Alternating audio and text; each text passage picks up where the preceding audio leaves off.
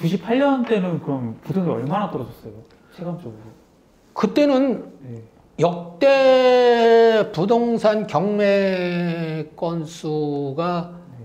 그때 최고였어요. 어, 지금 내가 통계를 좀 정확히 기억을 하는데 아마 보통 이- 요즘 이- 지금 최근에는 네. 1년에 네. 전국 평균 한, 시- 한 달에 한 만 건 이상, 네. 한 12만 건에서 14만 건 정도 나와요. 네. 에, 2000년도 2000년도에 아마 한 14만 몇 건 나왔을 거예요. 전국 평균. 그것도 많이 나오는 거죠. 음, 네. 올해는 뭐 작년에 한 12만 건 나왔나? 음. 이게 경매 총 전국 총 통틀어서 네. 그 종목 불문하고. 네. 근데 그 당시에는 내가 알기로는 아니 한 20몇만 건 나온 걸로 알고 있어요. 두 배가 나오네. 어. 그 하여튼 그래서 그래서 법이 바뀌었어요. 어떻게요? 그래서 법이 바뀐 계기가 된 네. 거예요. 역사 얘기하네 경매 역사. 네. 그때는 이제 그 지금은 이제 경매가 민사 집행법으로 돼 있는데 네. 그때 당시에는 민사소송법에 경매 규정이 있었어. 같이 들어가 있었어. 아. 그렇게 들어가 있는데 경매 법 경매에 경매 저 법원에 네. 그 IMF로 인해서 부동산 물건이 쏟아져 경매로 쏟아져 나오는데 네. 이게 법이 그 경매 문턱이 너무 높은 거야. 음. 여러 가지 음. 그법 규제가 조항이 네. 그 일반인들이 쉽게 접근하지 못하고 네. 또 일단 접근해서 받아도 어려움을 많이 느끼는 그런 조항들이 좀 있었어요 그 네. 당시에 그래서 아 그러면 안 되겠다 이걸 빨리 풀어줘야 되겠다 네. 이거 빨리 해소를 시키려면 네. 그래서 문턱을 낮춰버린 거야 아. 문턱을 낮춰버린다는 얘기는 뭐냐면 법 규정을 완화시켜준다는 얘기예요 음. 법 규정을 음. 그 대표적인 예가 이제 인도명령제라는 게 나타났고 아. 그 전에는 지금도 이제 공매에서는 인도명령제가 없어요 아 그래요? 공매는 명도야 어. 아, 명도고 그래서 이제 공매가 이제 조금 그 어려운 점은 있죠. 거기도 뭐 그 물론 다른 장점도 있지만 네. 그래서 인도 명령제는 이제 공매제에서는 없고 뭐 조만간에 바뀌겠지. 네. 근데 그때 당시에도 이 경매도 그 주택을 하나 해도 주택을 하나 받아도 네. 이- 인도 명령이 없기 때문에 반드시 명도를 해야 된다고. 명도라는 건 뭐 아시겠지만 6개월도 가고 그렇죠, 1년도 그렇죠. 가고 네. 그게 정말 고무줄이야 네. 고무줄. 뭐 어떻게 잘하면 판사가 밑으로 쓱 넣기도 음. 하고 뭐 아니면 빠르면 빠르지도 네. 하고 뭐 그럴 수도 있잖아요. 네, 뭐 바쁘면은 그쵸. 이거 또 볼참아. 누구든지 할 수가 있잖아. 네. 그러면 그 시간이 늦어지는 거예요. 음. 근데 인도 명령은 너무 쉬워. 음. 인도 명령 대상자가 물론 있어. 네. 무조건 다 인도 명령은 아니지만 인도 명령 대상자한테는 한 2개월 정도면 그냥 끝나버려. 그냥 인도 받는 거예요. 네. 그런 규정. 아. 그러고 이제 그 그때는 이제 또 그 이해관계인들이라는 표현을 쓰는데 네. 이 경매법정에서 이제 경매에서 이해관계인들이 특히 이제 채무자나 소유자 그 이해관계인 아주 못 먹는 감 찔러나 본다고 네. 그 낙찰자를 그렇게 애먹여요. 아. 뭘로 애먹이냐? 항고를 해. 아. 항고하면 또 시간이 질질 네, 끌려. 그렇죠, 그렇죠, 그렇죠. 항고해버리면 야, 이거 항고 끝날 때까지 내가 이거 권리 그쵸. 행사도 네, 못하고 뭐 등등 어? 낙찰 결정 확정을 받아 받기 전에 다 그런 행위를 다 해버리니까 네. 잔금 날짜도 안 정해지고 뭐 등등 어렵잖아. 네, 어렵죠. 지금은 어떻게 돼? 예를 들어 10억짜리를 내가 경매 낙찰가 10억을 받았다. 네. 그럼 항고 보증금이 보통 10%예요. 어. 10%를 넣어야 돼. 1억. 네. 그 보증금이 생겼어. 어. 근데 김인성이가 항고를 했어. 아, 네. 내 도저히 안 되겠어. 그래. 네. 항고를 해서 1억 넣고 했어. 근데 패소를 했다. 네. 어떻게 되겠어? 1억이 그냥 몰수. 아, 날리는 거. 날리는 거예요. 아무나 못하겠네. 아무나 못하잖아. 네. 얼마나 좋아. 네. 그 전에 없던 제도들이 민사 집행법으로 바뀌면서 확 문턱을 낮춰버린 거야. 아. 어, 어, 야, 그러니까 일반인들이, 어, 이제는 그 어려운 것들이 해소됐네. 네. 해소됐어. 음. 너무 그런 거 또 한 가지, 는 이제 그, 그 잔금 납부 기한, 어, 네. 기일. 그, 네. 그전에는 이제 기일이었는데 지금 기한으로 네. 변했어. 기한이라는 건 뭐 1일부터 30일 안, 네. 요 기한이잖아. 네. 요 안에 너가 돈 되면 아무 때나 넣어. 어. 그러면은 그것도 이제 내가 그 책이라든지 강, 강의를 통해서 많이 이제 얘기하는 부분도 한 가지예요. 잔금 납부 요령으로 해서 네. 잔금 납부하는데도 요령이 있다. 음. 그러면은 옛날에 기일 같은 경우에는 일을 돼서 31일이면 30일 이전에 내고 싶어도 못 넣었어요. 어, 그 날짜 딱 넣어야지. 아. 30일 날이 돈 나는 날이야. 30일 이후에 넣으면 돼. 아. 31일 이후에 넣으면 돼. 아. 근데 그 안에는 안 받아. 아. 30일 딱 넣어서 못 넣는다? 그 다음 되는 뭐 이자, 이자 해서 붙이면 음. 넣으면 되는 거지. 근데 그 안에 못 받아. 근데 지금은 이 기한에 그렇죠. 내가 어, 타이밍상 아, 돈은 마련했어. 아, 네. 대출 잘 나왔어. 네. 어? 대출 딜러들 잘 만나가지고 대출이 잘 나왔어? 네. 그래. 그럼 빨리 넣자. 네. 넣어도 된다. 아니면 마음 변하기 전에. 그렇죠. 그렇죠. 왜냐면 취소를 할 수가 있으니까. 네. 경매도, 강제 경매든 그 임의 경매든 물론 절차만 좀 다를 뿐이지 취소는 할 수가 네. 있어요. 그 채권, 저 채무자나 소유자가 네. 돈만 넣고 이제 할 수 있는데 아, 요건 물건이 너무 좋아갖고 상황을 보니까 아무래도 요건 좀 수상해. 취소시킬 것 같아. 그럼 에이, 내가 돈 빨리 넣어버리자. 그 전에 없던 거야. 음. 그 전에는 그냥 날짜 기다렸었는데 아. 지금은 얼마나 좋아. 그래서 이제 문턱이 그런 문턱이 낮아졌다. 음. 이제 그 외에도 이제 한 서너 가지가 있는데 대표적인 그런 것들이에요. 그러다 보니까 문턱을 확 낮춰버린 거예요. 음. 그래 가지고 뭐 여러 가지 뭐 또 이제 그 이제 바뀐 규정도 물론 있지만 네. 그러면서 문턱을 낮춰지면서 대거 이제 그 일반 아. 그 경매 네. 참여자들이 음. 많이 늘어나기. 아. 그러다 보니까 더 많이 팔렸지. 그렇죠. 그렇죠. 그렇게 되는 거예요. 아. 이제 물론 이제 민사소평가 그럼에도 불구하고 더 이제 좀 저 해소시켜야 될 것이 있는데 뭐 네. 그 정도만 해도 상당히 완화된 거죠. 음. 그래서 그렇게 그 IMF 때 쏟아져 나온 엄마막지하게 쏟아져 나온 물건들을 정부에서 특히 법원에서 이제 재빠르게 잘 해소해가지고 네. 재빠르게 한 거는 물론 아니지. 2000 어, 2000년도 초인가? 네. 2000년도 초에 아마 민사집행법으로 아. 법이 개정되면서 오늘날에 지금 현재까지 이어지고 있는 이제 아. 그런 법이에요. 그래서 그때 당시에는 이제 그렇게 처리가 된 거예요. 그래서 이제 상당히 많은 물량들이 이제 많이 처리됐죠.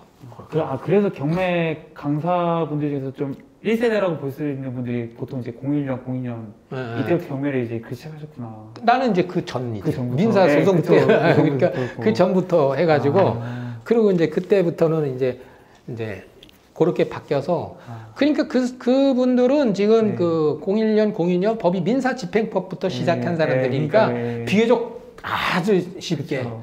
이건 사실은 우스개 얘기하지만 네. 전에 그 민사적법원에 해가지고는 얼마나 아주 그 명도 하러 가면은 네. 얼마나 힘들었는데요. 음. 심한 얘기까지 많이 들었어요. 어. 심한 얘기까지 많이 들고 네. 아주 겁나는 얘기까지 막 들고 어. 막 그런 얘기까지 있는데 또 한 번 해봐 막 이러지. 음. 그뭐 시간이 오래 그쵸. 걸리고 그쵸. 그러니까 참 그게 어려움을 많이 겪었는데 네. 그래서 민사 집행법이 그래서 그 경매 하기를 상당히 편하고 네. 좋게 해놨어요. 어. 그러니까 우리 관심 있는 여러분들은 네. 그 좋은 법 가지고 네. 열심히 해서 네. 돈 벌면 되죠. 그럼 이제 본격적으로 경매 얘기를 좀 해보려고 예, 하는데 뭐 지금 그렇게 이제 수십 년 동안 뭐 좀 기억나는 좀 경매 물건 있으세요? 낙찰받은 것 중에서? 글쎄 그 뭐 낙찰받은 물건이 워낙 많았어 갖고 많았어요, 뭐 예. 그렇잖아요. 오랜 좀- 세월 하다 이건 보니까 좀뭐 토지, 거. 예. 공장, 뭐 주택, 아파트, 뭐 농지 뭐 많은데 네.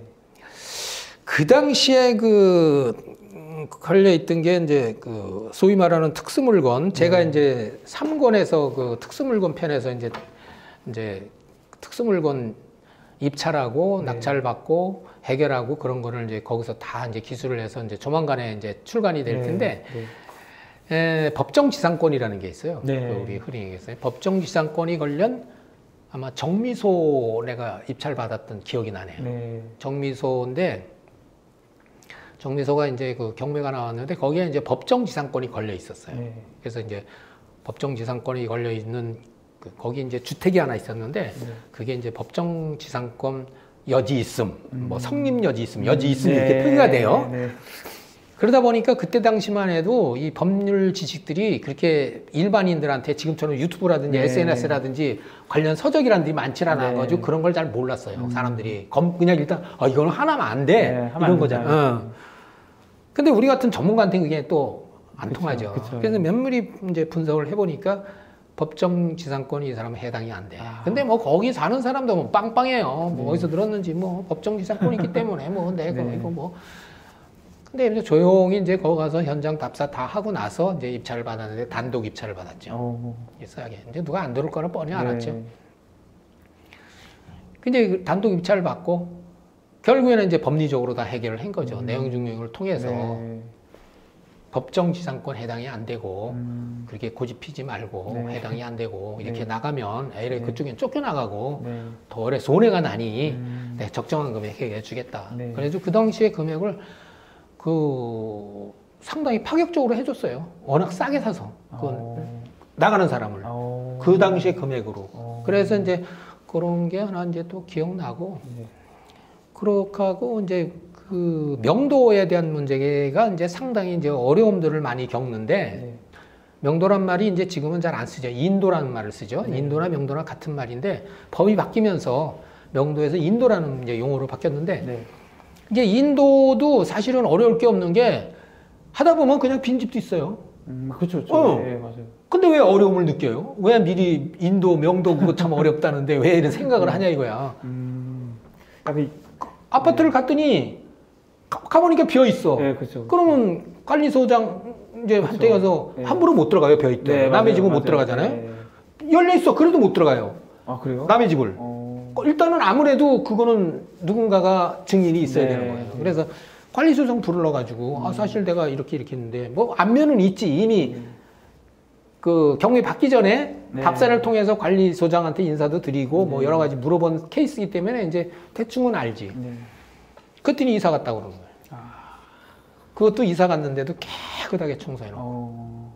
그참 깨끗한 사람들이에요. 음. 이제 사업하다 망했는지 어땠는지 그 네. 이유는 모르겠지만 그래서 그런 케이스도 많아요. 음. 그렇지만 또 시, 아까도 얘기했는데 심하게 아주 심한 욕 받고 네. 뭐 그런 경우. 음. 근데 그거는 경매하는 사람들한테는 사실은 감수해야 될 부분들이에요. 음. 그런 정도는 음. 예나 지, 지금이나. 아. 예. 그리고 지금 같은 경우는 좀 덜하지만 간간히 나도 지나다면서 그 옛날 기억 떠돌리고 떠올리고 그러는데 그 빌딩을 이제 그 현장 답사 갔는데 그게 이제 유치권이 걸려 있는 물건이에요. 네. 근데 요즘은 그게 덜 알지만 옛날에는 유치권을 사고 팔았어요. 아, 진짜요? 그럼요. 어. 근데 유치권을 누가 사느냐? 네. 힘 잘 쓰는 사람들 뭐라 그러죠? 뭐, 뭐, 네. 그런 데서 돈 되는 데는 다 쫓아다니거든요. 아. 싸서 이제 합의금 받고. 그렇죠. 그래가지고 네. 또 법은 멀고 주먹은 가깝기 때문에 네, 그렇죠, 그렇죠. 그 사람들한테 혼난 기억. 음. 거기 가- 섣불리 갔다가 이제 답사 좀 갔다가 이제 네. 괜히 좀 아는 척하고 물 물고 물어보고 막 네. 그러다가 가지고 그냥 아 되게 아뭐 뭐 폭력 행위는 당하지는 않았지만 아. 그 근처까지 갈 정도로 아주 혼난 그런 기억. 음. 이제 상당히 여러 가지 많죠. 음. 뭐 경매 그 입찰을 하러 가서의 그 네. 뭐 문제라든지 뭐 여러 가지 상당히 많아요. 너무 많으니까 그 정도. 네.